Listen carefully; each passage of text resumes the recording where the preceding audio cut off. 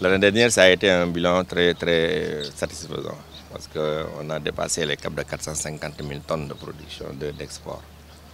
C'est-à-dire que ça veut dire que l'exportation constitue un maillon très important, presque indispensable.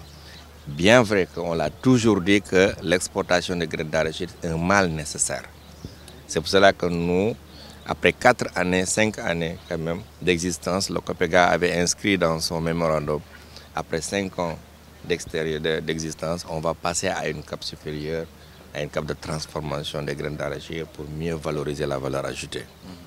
Le DG de la COSEG en a parlé tout à l'heure pour nous encourager, pour nous initier à aller de l'avant et aussi à aller à un autre cap. Parce qu'on a l'expérience, on a le marché maintenant, parce qu'il va aller juger le marché, trouver un marché pour pouvoir exporter.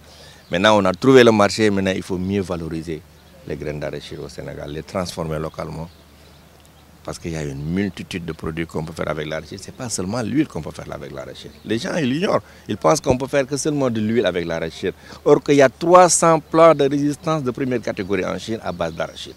Ça veut dire qu'on n'a qu'à eh, appeler nos ingénieurs gastronomiques, c'est-à-dire que l'association des cuisiniers, pour nous sortir des recettes à partir de l'arachide qu'on puisse améliorer et qu'on puisse présenter aux producteurs et revaloriser et faire en sorte que la valeur ajoutée soit mieux partagée par le producteur et toute la population. Et ce qu'on espère aussi exporter, c'est aussi notre projet, parce que comme on est en phase fast tracks et qu'on parle d'émergence, nous, notre objectif, c'est de passer d'un cap à un autre d'année en année.